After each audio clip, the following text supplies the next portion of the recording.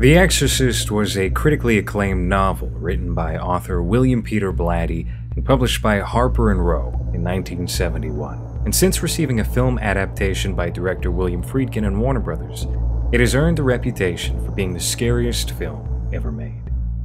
Perhaps that enduring title is due to its ability to shock the senses of its viewers by penetrating the psyche, as opposed to relying strictly on traditional stock horror cues, like jump scares or overly highlighting oblong creatures that walk funny. There are aspects of it that are visceral and remain effective to this day. Those that fall within the lines of cinema fans like found footage and the now popular elevated horror genres lack a certain depth. Well, found footage films like Paranormal Activity relied more on visual gags to disturb the viewer. The films being dubbed elevated like 2019's Us and 2018's Hereditary, offer certain yarns that may be considered a cut above in quality, but are too transparently self aware of what it is they are setting out to accomplish.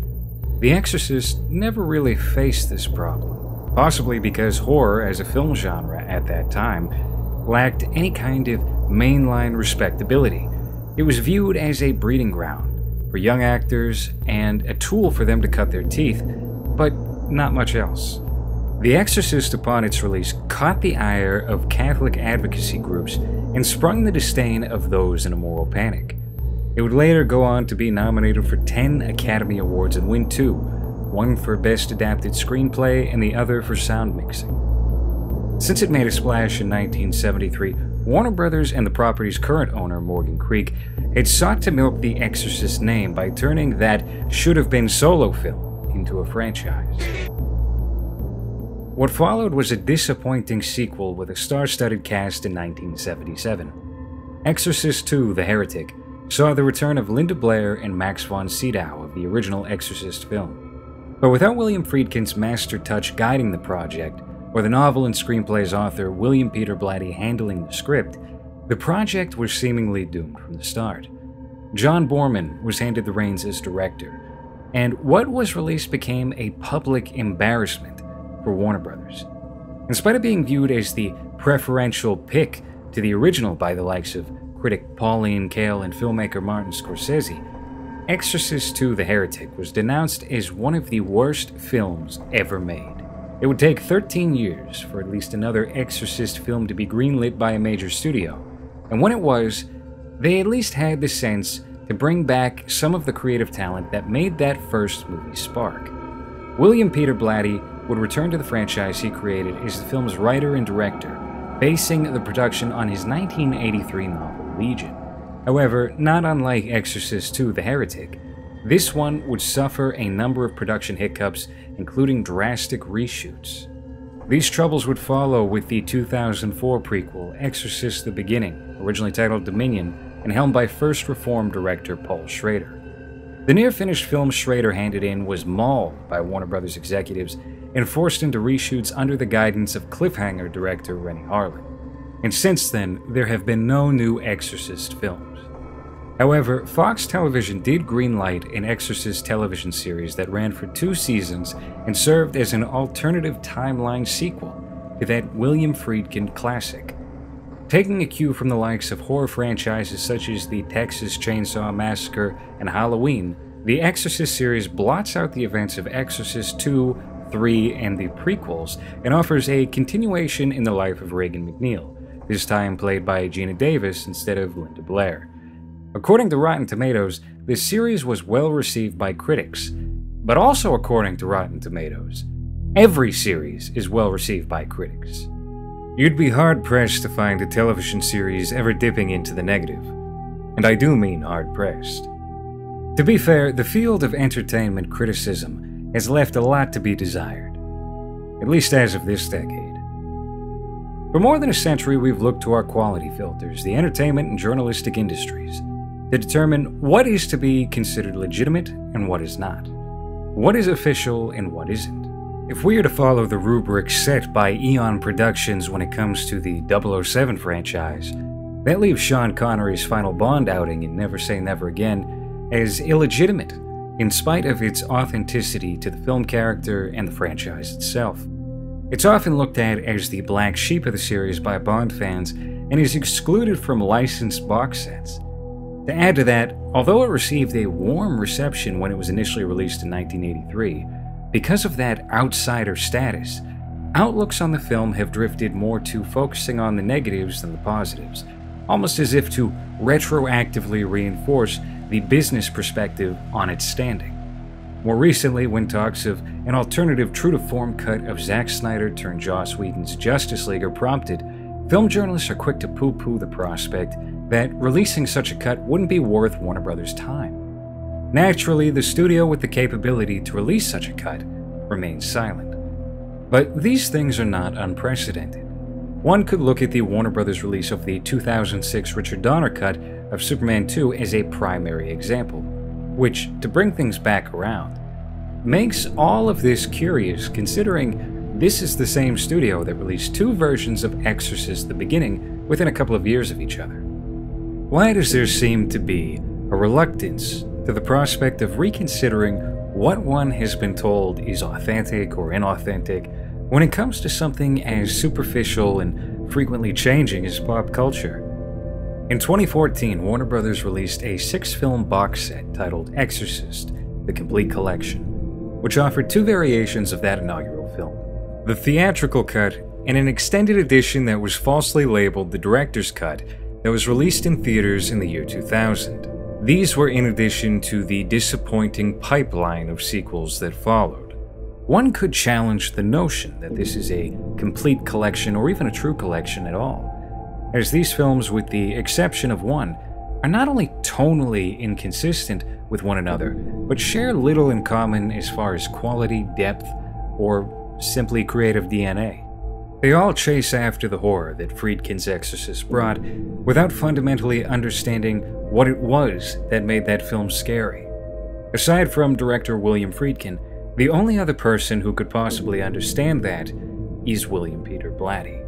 There is a true Exorcist trilogy, one that shares a consistent bloodline and has little concern for its scares so much as it is analyzing psychology. And this trilogy currently exists unchallenged in another medium, that of literature. In 1980, William Peter Blatty wrote, directed, and produced an adaptation of his 1966 novel Twinkle Twinkle Killer Kane. It was titled The Ninth Configuration. The Ninth Configuration and The Exorcist, published in 1971, exist in the same universe as one another and feature a character by the name of Captain Billy Cutshaw. Cutshaw is an astronaut and an acquaintance of Chris McNeil, the mother of the possessed girl Regan in both the novel of The Exorcist and in the 1973 film. The character is portrayed by actor Dick Callinan in Friedkin's rendition. While attending a party as a guest at the McNeil residence, Cutshaw is confronted by the young, demon possessed Regan McNeil, who cryptically tells him, unprompted, You're going to die up there, insinuating that his next trip will end in death. The events of The Exorcist take place before those of Twinkle Twinkle Killer Kane.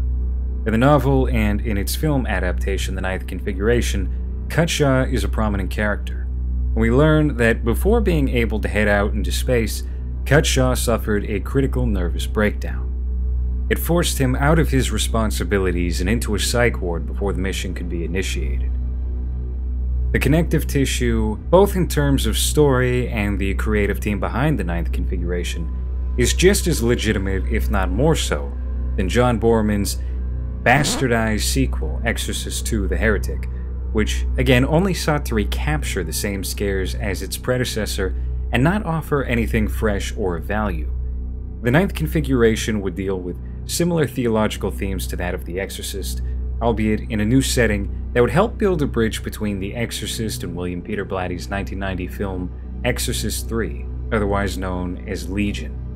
Legion similarly takes place in a psych ward and explores another character from that original film, Lieutenant William F. Kinderman, who is investigating what seems to be copycat serial killings of the long deceased Gemini Killer. As mentioned before, this movie, released in cinemas as The Exorcist 3, based studio interference that completely warped what the film was intended to be. In novels, especially, it is not uncommon for a sequel to be only loosely attached to its previous installment. It's natural that Blatty, starting as a novelist, would approach the medium of film in a similar fashion. In Legion's original form, character actor Brad Dourif, best known for lending his voice as the manic killer doll Chucky in the Child's Play series, plays both Father Damien Karras, taking over the part from Jason Miller in that 1973 film, and the Gemini Killer, who has been inhabiting his body for roughly 15 years. The first cut of Legion was an eerie psychological thriller that didn't go over the top with the more supernatural elements that are found in the theatrical cut of the film, the final version, that was affected by studio meddling.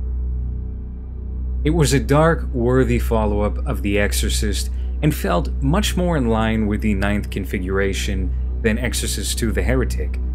But there wasn't money to be made off of the name Legion. And thus, once more, executives from Warner Brothers decided to step in and make some changes. Because Legion was not considered Exorcist enough for audiences. So when the schedule of actor Jason Miller, who in fairness William Peter Blatty had shown interest in recasting as Karras, opened, the studio forced the director to reshoot more than half of his film and retool it to be specifically transparent as an Exorcist sequel. Jason Miller would occupy half of Dourif's role rather than absorbing it entirely as the studio had initially insisted, and music from that first film was to be shoehorned into the beginning of the movie. But perhaps the biggest change from Legion to Exorcist 3 was the inclusion of an exorcism in the grand finale. Peter Blatty was forced to include a brand new character while reshooting his film, an exorcist by the name of Father Morning, as played by Nicol Williamson. And this completely redundant character would be thrust to the head of the film where Lieutenant Kinderman and the Gemini Killer would square off in a battle of faith, testing the wills of good and evil. And while an argument can be made that the theatrical cut of Exorcist III is a superior cinematic vehicle, that work print copy of Legion was truer to William Peter Blatty's original vision. In 2016, a distributor of niche films and horror classics, Shout Factory, would release a rough composite of Legion as a supplemental bonus disc for their remaster of The Exorcist 3. Unfortunately, due to time, much of that original footage had been lost and was substituted with VHS dailies from the set in order to bridge the gaps. As it stands, a cut of the film is now widely available, and William Peter Blatty lived to see his vision restored to a much truer degree. These three films, while wildly different from one another, formed a perfect trilogy of movies that belonged to their creator. And that can't be said for many other horror franchises.